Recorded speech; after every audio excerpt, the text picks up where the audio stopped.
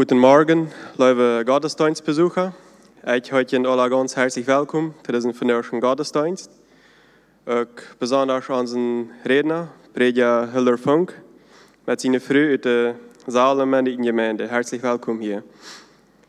Predja Funk wird uns vandaag mit der Botschaft dienen zum Thema der Mensch aus Gottes Perspektive. Zur Begrüßung will er uns die Vers lesen, Jeremia 29, Vers 11 und 12. Du sagst dazu, denn ich weiß wohl, was für Gedanken ich über euch habe, spricht der Herr. Gedanken des Friedens und nicht des Leides, das ich euch gebe, das Ende, das ihr wartet. Und ihr werdet mich anrufen und hingehen und mich bitten, und ich will euch erhören. Lass uns zum Anfang noch beten.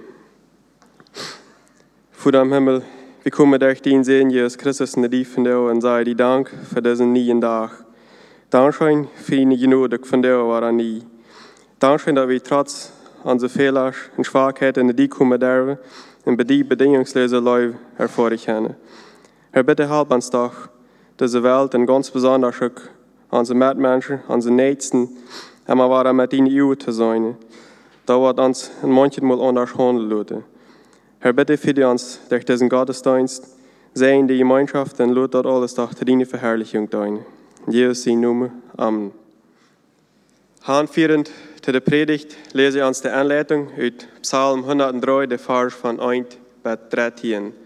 Du sagst dazu, Lobe den Herrn meine Seele und was in mir ist, seinen heiligen Namen.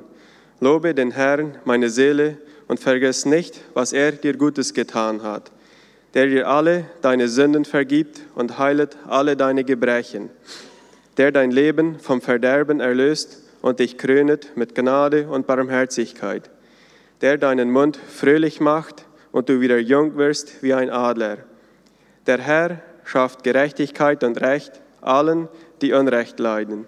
Er hat seine Wege Mose wissen lassen und die Kinder Israel sein Tun. Barmherzig und gnädig ist der Herr, geduldig und von großer Güte.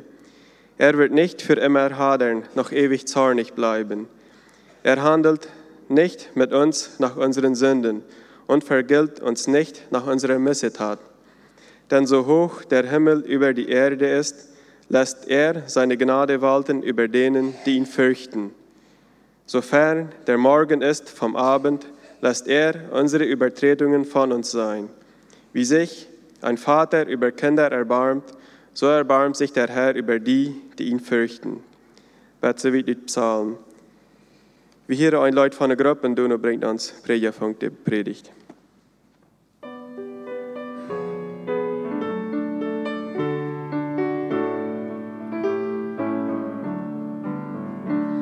Tiefen Frieden so reich gab mir Jesus ins Herz,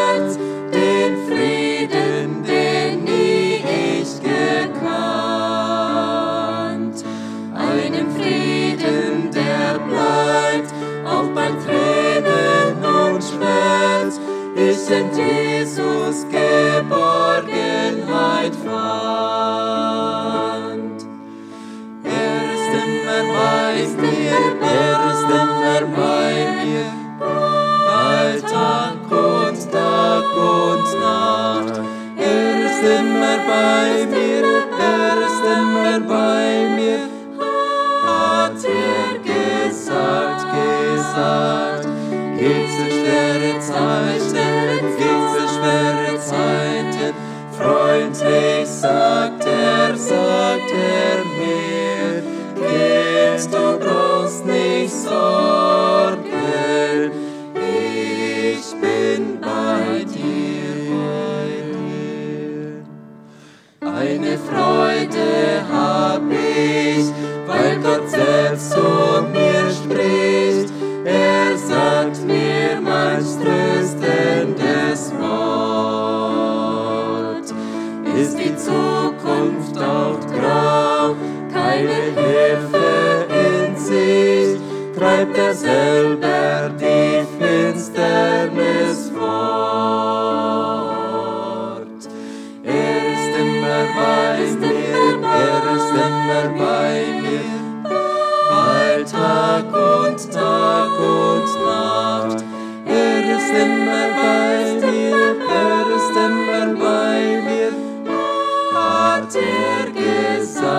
gesagt. Geht so schwere Zeiten, geht so schwere Zeiten. Freundlich sagt er, sagt er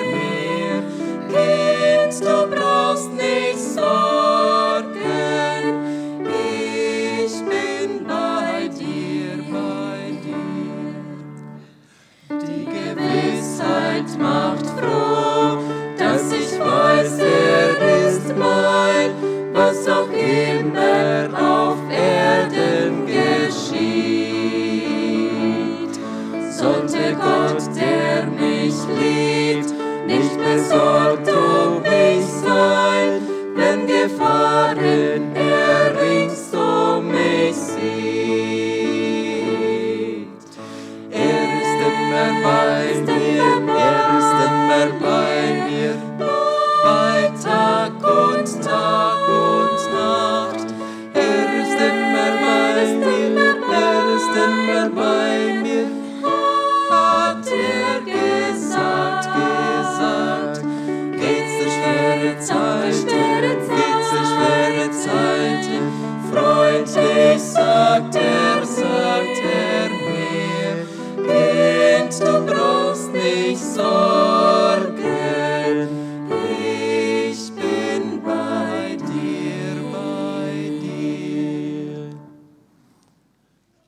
Sehr allgemein. Der Mensch. Das kann irgendeiner sein. Aus Gottes Perspektive. Wenn ich aber meinen Namen da einsetze und du deinen, dann wird es etwas persönlicher.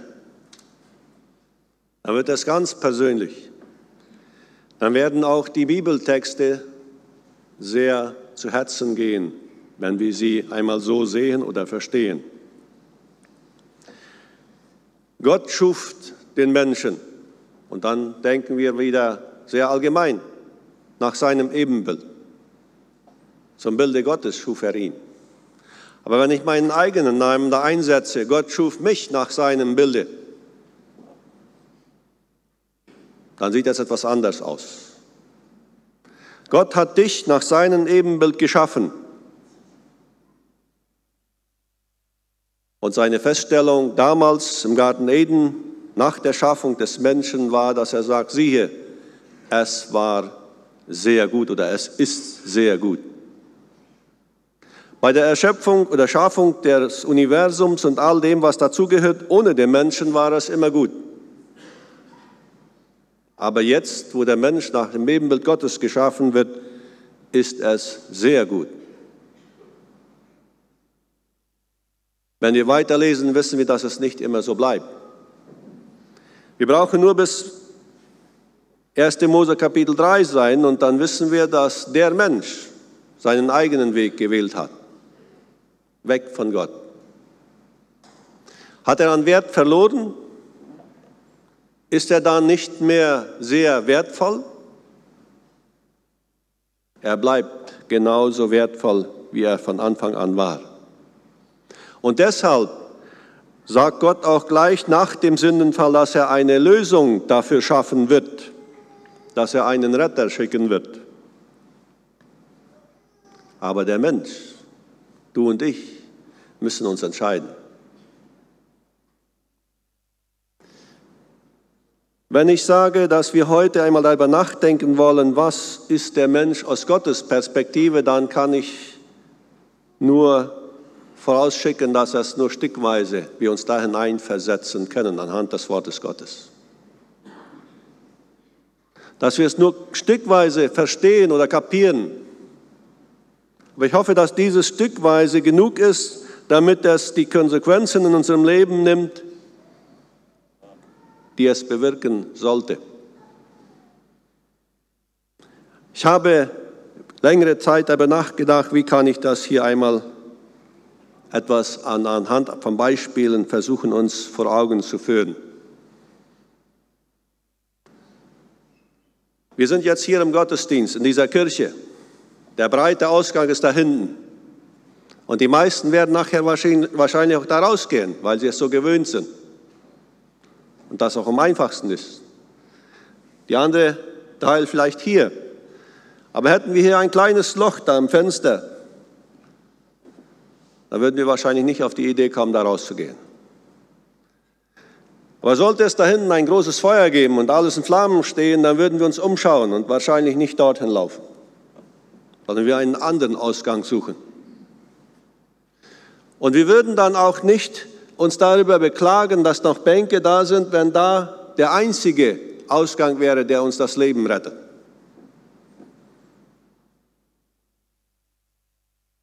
Ich denke mal nicht. Dann wäre es nur vernünftig, wenn wir es uns etwas kosten lassen und sagen, ich setze alles dran, um da rauszukommen.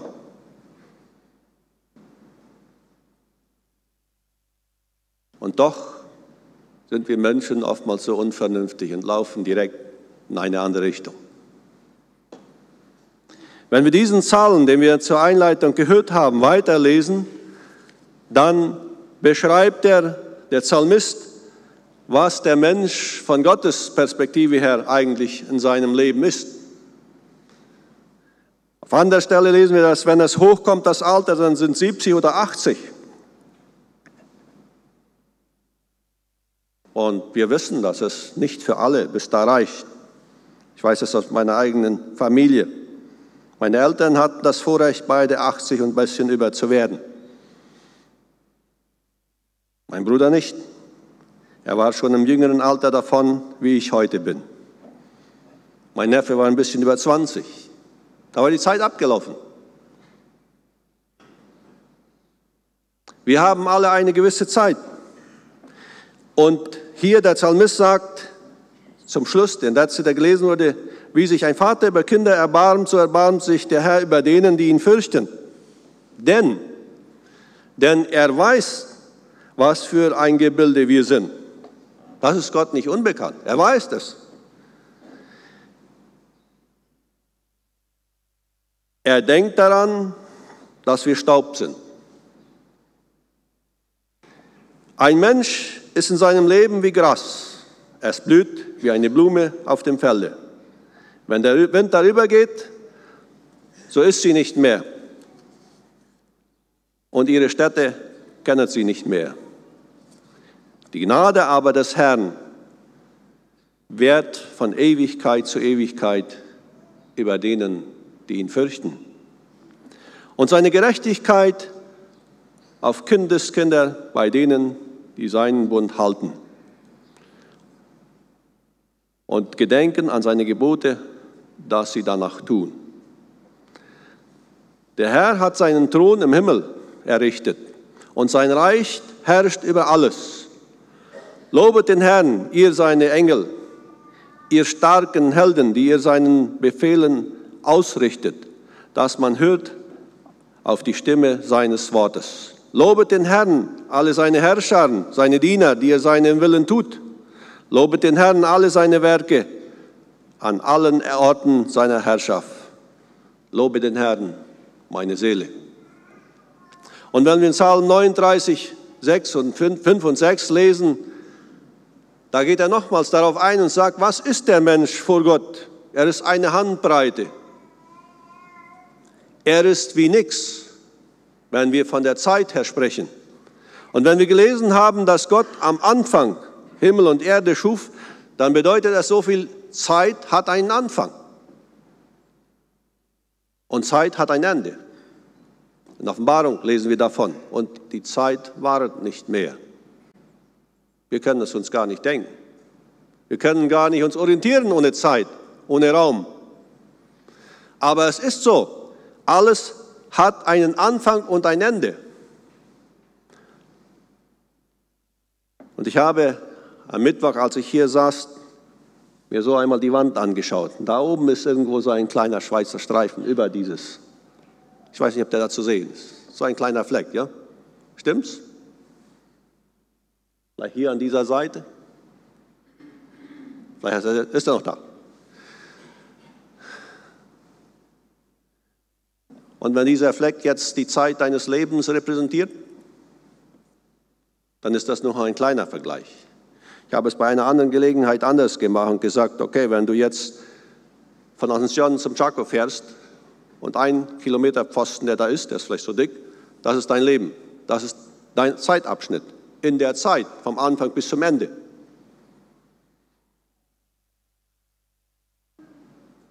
Wir können uns das gar nicht denken. Und wenn ich dann hier vielleicht sage, dieses wäre hier so unser Leben und wir machen einmal einen Strich drauf und sagen, irgendwo es Anfang und dieser Strich ist dein Leben und hier ist das Ende. Das ist nur sehr kurz. Und in diesem Strich, wenn wir dieses unser Leben dann nochmal vergleichen und sagen, du hast eine Entscheidung zu treffen, das ist der Punkt darauf, der über deine Ewigkeit entscheidet, dann wäre es doch unvernünftig, wenn wir uns entscheiden, zur großen Tür zu laufen und nicht zum kleinen Fenster.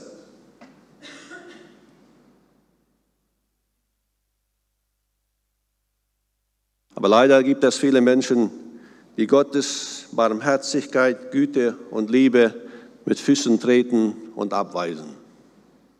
Der Psalmist kannte viele solche Leute. Er hatte sie gesehen, er hatte sie miterlebt. Wahrscheinlich hat er sogar auch einige aus seiner eigenen Familie da drin. Die Gottes Wort und seine Anordnungen einfach nicht befolgten.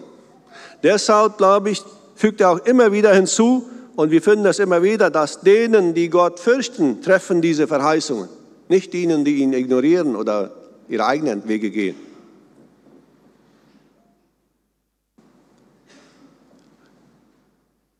Es ist nämlich von Natur aus so, dass alles irgendwie etwas nach unten zieht. Wenn ich dies hier loslasse, das fällt runter. Brauche ich nichts zu tun, nur loszulassen.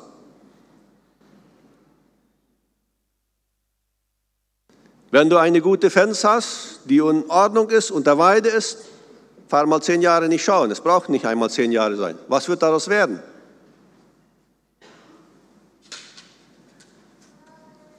Dieses nennt man in Physik was? Wie bitte? Schwerkraft.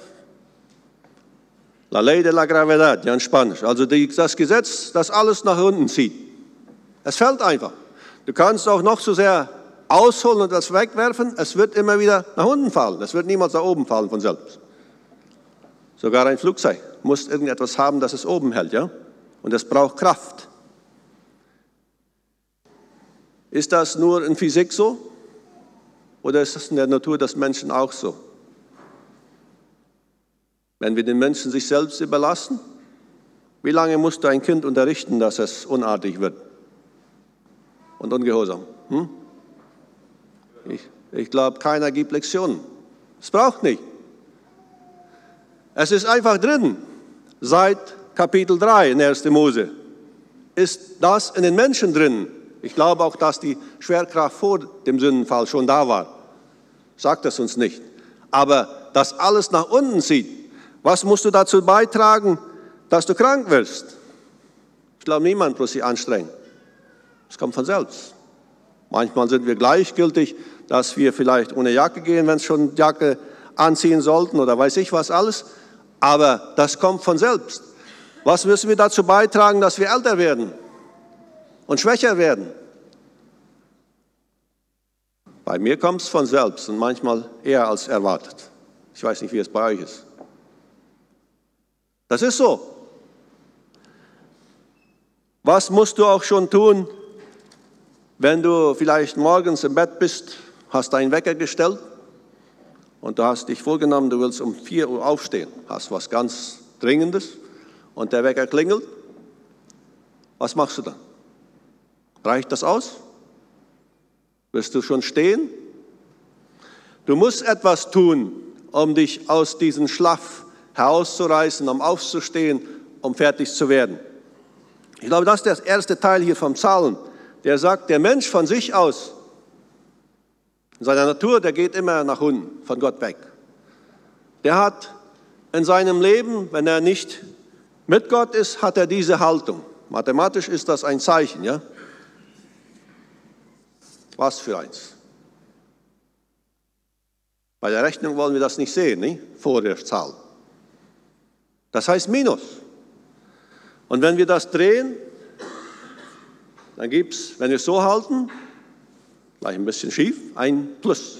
Und wenn wir es so halten, dann wird es mehr. Ja? Aber wenn wir das in Gottes Perspektive sehen, ich glaube, dann muss das so sein, damit es nach oben geht. Sonst von Mensch Natur aus wird es immer so sein. Und der Psalmist sagt uns hier, wie wir das zu einem Plus in unserem Leben werden lassen können. Aus Gottes Perspektive her ist das klar. Er möchte, dass niemand verloren geht. Warum nicht?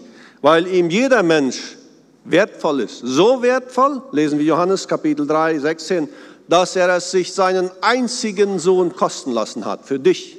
Nicht für irgendjemand, sondern für dich, der am Kreuz ging, für mich, damit wir durch ihn ewiges Leben haben können. Wenn wir nur dieses haben, da wird es immer bergab gehen.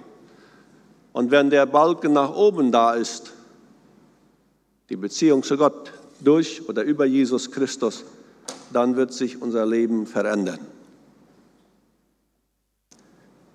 Ist das dann nicht unvernünftig, wenn ich Zeit, ich versuche die Zeit einmal als Ganzes im Kopf reinkommen zu lassen und zu sagen, mein Leben ist nur ein Punkt auf dieser Zeitlinie und in diesem Punkt möchte Gott und gibt er mir die Gelegenheit, dass ich über die Ewigkeit entscheiden darf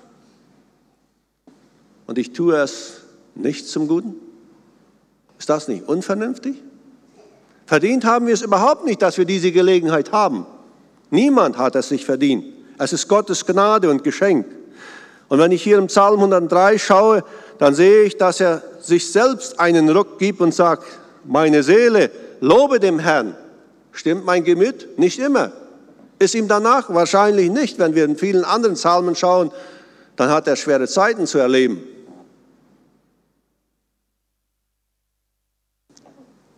Man kann es sich noch zu sehr vornehmen, man kann noch zu viel auch im Sinn haben, aber es muss getan werden, sonst ändert es nichts. Hier der Psalmist schaut einmal zurück in seinem Leben. Was hat Gott für mich getan? Und er kommt als erstes auf das Kreuz. Er nennt das nicht Kreuz, aber der mir alle meine Sünden vergibt und es gibt es nur da.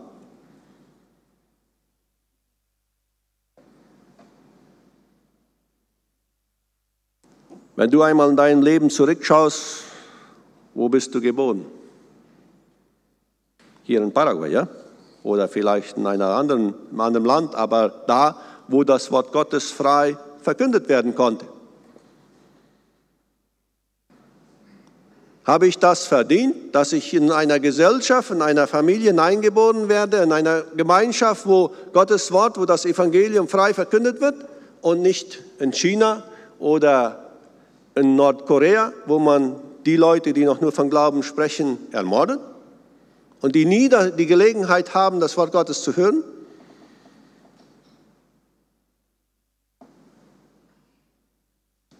Ist das nicht Gottes Güte? Ist das nicht ein Grund, ihm dankbar dafür zu sein, dass er mich diese Gelegenheit überhaupt geboten hat? Der Psalmist sieht das so und er erwähnt das und sagt, Gott, Du bist derjenige, der alle Sünden vergibt und heilet alle Gebrechen. Er geht in seinen Gedanken einmal zurück. Und deshalb denke ich, dass Danken und Denken zusammengehört. Wer nicht nachdenkt, der wird keinen Grund finden zu danken. Du musst nachdenken. Und wenn du nachdenkst, mit dem Ziel, dass du danken willst, dann wirst du immer Gründe finden. Genügen. Du wirst auch immer Gründe finden, zu grunzen und undankbar zu sein, wenn du es willst. Über das Wetter, über den Nachbarn, über die Kolonie, über das Land in Paraguay. Und wie oft habe ich mich selbst vielleicht schon, denke ich, so versündigt, dass ich nicht dankbar war für die Regierung, die wir haben, weil sie dies oder jenes klein wenig anders gemacht hat. Und vergessen, dass das auch anders sein könnte.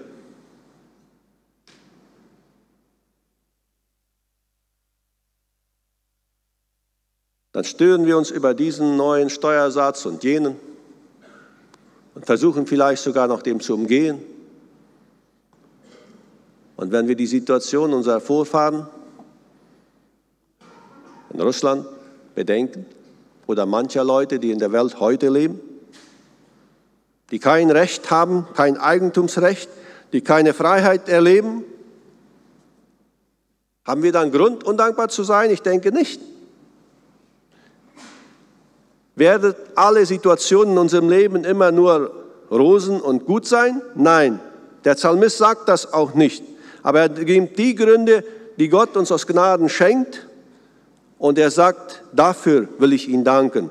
Und seine Barmherzigkeit, die von Ewigkeit her gültig ist für denen, die ihn fürchten, also das heißt, die an ihn festhalten.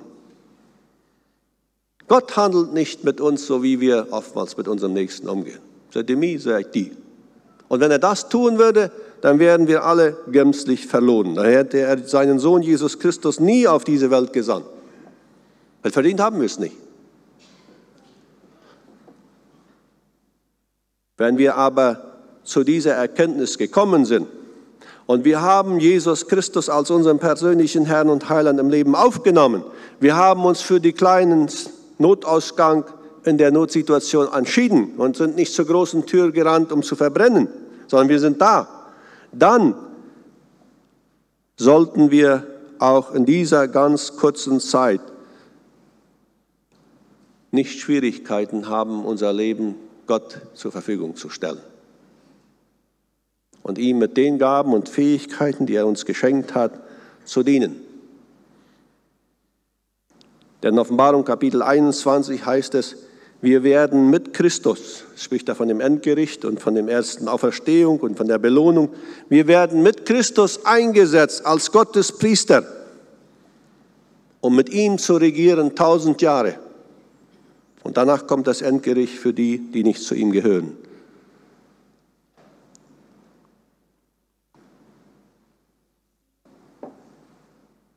Gottes Priester, Gottes Botschafter, an Christi Stelle hier auf Erden am Wirken zu sein. Wenn ich mein Leben betrachte und du deines, dann glaube ich, merken wir, dass wir noch nicht am Ziel angekommen sind dass wir noch manches zu tun haben. Dass wir manchmal zu leicht diese Zeitlinie nur einfach entlang laufen und nicht uns bewusst wird, wie kurz die sein kann. Und dass die Entscheidungen, die wir treffen, Ewigkeitsrichtung angeben. Gott möchte, dass du und ich unser Leben aus seiner Perspektive sehen wir sind nicht nur wertvoll, sondern sehr wertvoll für ihn. Sehr gut geschaffen, nach seinem Ebenbild. Und er hat sich das, das Allerbeste, seinen einzigen Sohn, am Kreuz kosten lassen, damit du und ich errettet werden konnten. Einen höheren Preis kann niemand zahlen und wird niemand zahlen. Das ist der einzige. Und nur der einzige, der gezahlt werden konnte. Und wer diesen annimmt, den Lösungspreis Gottes, der Jesus Christus heißt, der gehört zu ihm. Und der ist beauftragt, an Christi Stadt hier auf dieser Welt sein Reich auszuleben. Unser Leben leben wir nicht für uns selbst. Das ist nicht Gottes Ziel. Wir haben gehört bei der Begrüßungsworte, Gott hat Gedanken des Friedens und nicht des Leides. Es wird aber Leid da sein. Aber sein Gedanken und sein Ziel ist es, dass er immer nur das uns zukommen lässt, was für uns am besten ist. Werden wir es verstehen? Lange nicht immer. Wenn ein plötzlicher Tod in der Familie eintrifft, dann bleiben mehr Fragen als Antworten. Und oft werden diese Fragen auch bis zum Lebensende nicht beantwortet werden. Wenn man es auch versucht, und ich muss mich selbst immer wieder sagen, versucht nicht Leute, die tief von Leid und Tod oder Trauer betroffen sind, mit billigen Worten abzutrösten. Was sie brauchen, dass wir da sind, dass wir sie begleiten. Weil wir haben oftmals nicht die Antworten. Aber wir dürfen eines nicht vergessen, dass Gott sagt, denen, die ihn lieben, denen werden alle Dinge zum Besten dienen. Auch wenn wir es nicht verstehen, dürfen wir es glauben und darauf vertrauen. Und an jenem Tag, wie wir in der Offenbarung lesen, werden wir von Angesicht zu Angesicht sehen. Da werden uns alle Fragen beantwortet sein. Ich darf meinem Gott, der über alles steht, das zutrauen, das Vertrauen in ihm halten, auch wenn ich es nicht verstehe, was mich heute oder in der Zukunft begegnet, dass das für mein Bestes dient, wenn ich ihm liebe. Das ist leichter gesagt als gelebt. Der Psalmist, denke ich, hat hier eine Art und Weise, sein Leben zu führen, weil er weiß, wie kurz es ist, weil er es vergleicht mit einer Handbreite und ich habe nachgeschaut, im Hebräischen war das das allerkürzeste Maß, das man damals kannte, Handbreite.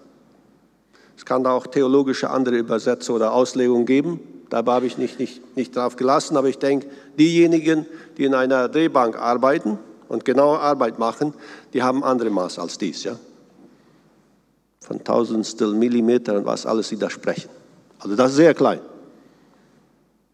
Warum es geht, dass der Schreiber einfach versucht zu sagen, unser Leben in Gottes Augen mit seiner Zeitrechnung ist nichts an Messbarem. Es ist so kurz.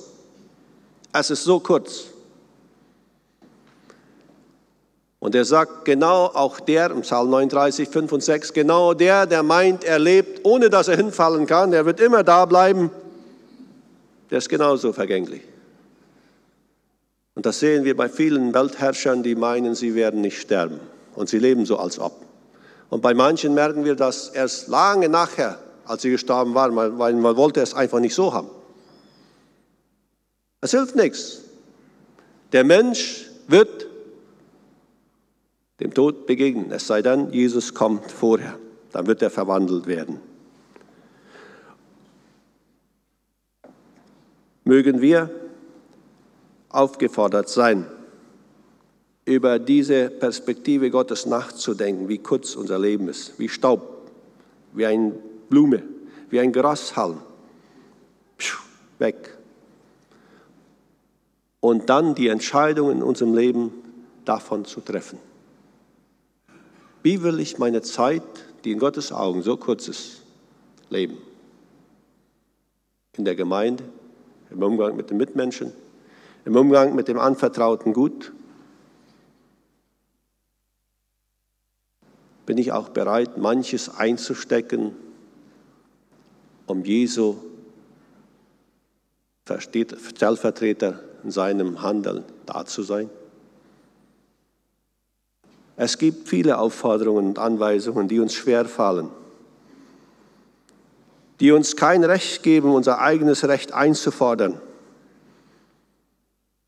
sondern die uns Mut machen, willig den Weg des Leidens unter Gottes Führung zu gehen. Und wenn wir dann nachgedacht haben, was Gott uns alles an Gut und Segnungen erleben lässt, auch trotz mancher Schwierigkeiten und Herausforderungen, dann glaube ich, ist es auch an der Zeit, dass wir nicht nur bei diesen guten Vorsätzen bleiben, sondern dass wir es auch tun, und hier wendet sich der Psalmist an allen möglichen, an den Engeln, an der Schöpfung. Und der ganzen Kreatur fordert er auf, Gott zu loben, weil er der ewig gute und liebende Gott ist. Und sagt dann zuletzt, meine Seele, du bist auch gemein. Wie oft nehme ich mir einfach die Zeit, oder tu es, dass ich Dienern in der Gemeinde meinen Dank ausspreche für ihren Dienst. Sei es den Putzdienst hier, sei es den Ordnerdienst auf dem Parkplatz, sei es den Filmdienst, sei es den Diakonendienst oder was immer es sein mag. Viele Dienste, die übersehen wir oft. Oder wir meinen, wenn wir ihn dafür loben und eine Anerkennung geben, dann könnte er vielleicht sogar noch stolz werden, oder? Wir gehen viel eher und schimpfen über Kleinigkeiten, die uns nicht gefallen und nicht nach unserem Geschmack laufen. Deshalb sage ich, wenn wir nicht den Balken drehen, dann bleibt es beim Negativen. Da in der Stube hat mir jemand darauf hingewiesen, es war hier eine Stelle Faulnis, ja. Dieses Brett, habt ihr schon gesehen? Habe ich auch gesehen, als ich das holte. Wir sehen immer diese kleinen Stellen da. Alles andere war gut, nur das nicht. So sind wir einfach. Ich hoffe, dass wir nicht gesehen haben, wie der Valerian da eine Handbewegung nicht richtig macht. Ich weiß gar nicht, ich kenne nichts von Musik. Sondern dass wir lieber von Herzen mitgesungen haben, trotz mancher Dinge, die nicht so waren, wie sie sein sollten. Du hast dein Leben heute noch. Morgen weiß ich nicht. Du weißt es auch nicht. Es kann sehr plötzlich sein. Heute kannst du dich entscheiden, wie du mit dem Zeitpunkt umgehst. Wie willst du den Rest deines Lebens für Gott ganz hingeben? Muss sich da was ändern? Du weißt es am besten. Gott wird dich dabei helfen. Er ist wie ein Vater. Und ein Vater, der sein Kind liebt, lässt es nicht immer das tun, was es will und dahin laufen, wo es will. Besonders wenn sie klein sind, nicht. Er wird das nicht lassen, in einer gefährlichen Situation hineinlaufen. Er wird das nicht zulassen, dass es sich immer hinwirft und brillt, wenn es nicht das kriegt, was es will. Dann gib es doch nochmal hier. Oder ein bisschen an den Ohren ziehen. Liebt er das Kind nicht? Ja, er liebt es. Und deshalb lässt Gott auch manche Dinge zu, die uns begegnen, die uns wehtun, weil er nur das Beste im Sinn hat, weil er nur das Beste für uns will. Traue ich ihm das zu? Warum tue ich mich dann so schwer, das zu tun, was er haben will? Ich glaube, manchen von euch fällt das vielleicht auch nicht ganz einfach. Gottes Wort bei Wort zu nehmen und immer wieder auszuleben. Zu sagen ist einfach, zu tun ist nicht ganz so einfach. Und ich möchte uns auffordern, Mut machen, Gott zu loben, nachzudenken, was er uns schenkt in Jesus Christus. Was er uns schenkt, indem dass wir die Gelegenheit haben, die Freiheit hier im Land haben, in der Gemeinde sein dürfen, mitwirken dürfen, dass wir jetzt schon Priester in seinem Reich sind und als solche unser Leben gestalten und andere zum Segen werden können. Gott helfe uns dabei. Lasst uns beten. Treuer Gott und Vater im Himmel, wir sagen dir Dank, dass du allmächtig, allwissend, allgegenwärtig bist und ein liebender Vater bist. Dein Wort ist die Wahrheit. Niemand kommt zu dir ohne Jesus Christus. Und ich danke für einen jeden, der hier heute zugegen ist, der diese allerwichtigste Entscheidung des Lebens schon getroffen hat und dein Kind ist. Und wenn wir uns anhand von deinem Wort und deinem Geist unser Leben prüfen, dann müssen wir auch zugeben, dass wir oftmals ungehorsame Kinder sind. Dass wir viel besser wissen, was dein Wort uns lädt, als das, was wir tun. Im Umgang mit Fremden, im Umgang mit dem anvertrauten Gut, im Umgang mit Zeit und Energie und im Einsatz der Gaben, die du uns geschenkt hast in deinem Reich, zum Bau deines Reiches. Mögest du vergeben, wo wir egoistisch, selbstsüchtig gehandelt haben und helfen, uns von deiner Perspektive her unser Leben in der Zeitlinie zu sehen und die Auswirkungen, die es hat für alle Ewigkeit, wenn wir uns immer wieder vom Neuen für dich und für dein Reich entscheiden. Dein Segen ruht auf diejenigen, die dein Wort hören und nicht nur hören, sondern auch umsetzen im Alltag. Daran wolltest du uns helfen und segnen. In Jesu Namen. Amen.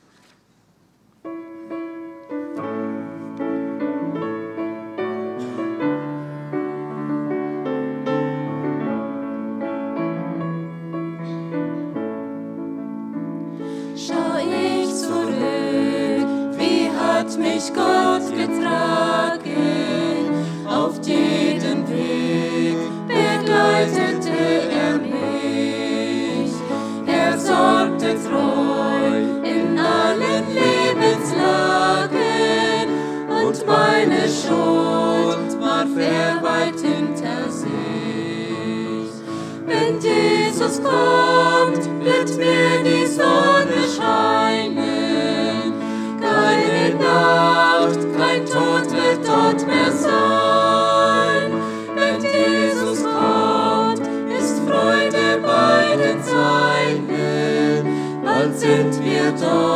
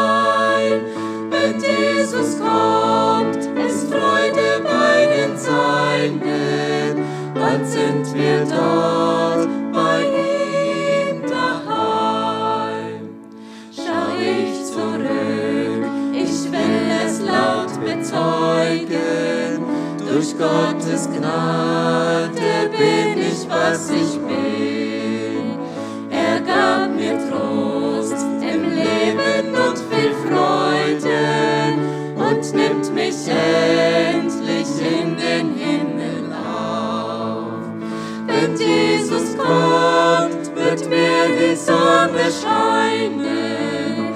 Keine Nacht, kein Tod wird dort mehr sein. Wenn Jesus kommt, ist Freude bei den Seinen. Bald sind wir dort bei ihm daheim. Dankeschön, Preja Funk, für die klare Botschaft. Auch für die passende, schöne Leute. Ich möchte mich bedanken bei all den Diensten, die hier tun worden sind, dass das Gottesdienst dargeführt werden kann. Ich möchte noch mal erinnern an den Sozialteil, wir haben die Lade für uns anschließen. Dann würde ich Preja Funk an uns mit den Sehen tun, Leute.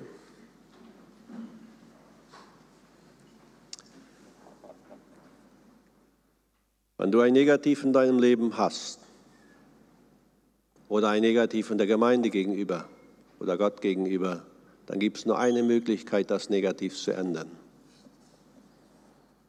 Und das ist da. Wenn die Beziehung nach oben wieder in Ordnung gebracht wird, wird alles negativ sich im Positiven verändern. Ich lade ein, wer kann, aufzustehen. Wer nicht kann, darf gerne sitzen bleiben. Wir wollen den Segen Gottes erflehen.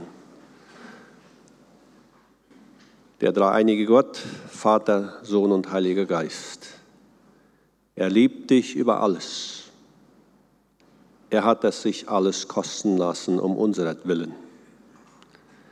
Dir sei Lob, Preis, Ehre, Dank und Anbetung dafür, Herr, dass du uns diese Möglichkeit der Erlösung in Jesus Christus geschenkt hast. Und danke für jeden, der diese Entscheidung für dich gemacht hat in seinem Leben. Und nun wolltest du uns gehorsame Kinder bleiben lassen. Und da, wo es noch nicht so ist, gibt es die Kraft deines Geistes uns dahin verändert, dass wir gehorsame Kinder im Glauben dir zur Verherrlichung unser Leben gestalten. Der Herr segne dich und behüte dich. Der Herr lasse sein Angesicht leuchten über dir und gebe dir seinen göttlichen Frieden. Und wenn wir jetzt von hier gehen, so scheiden wir im Frieden Gottes. Amen.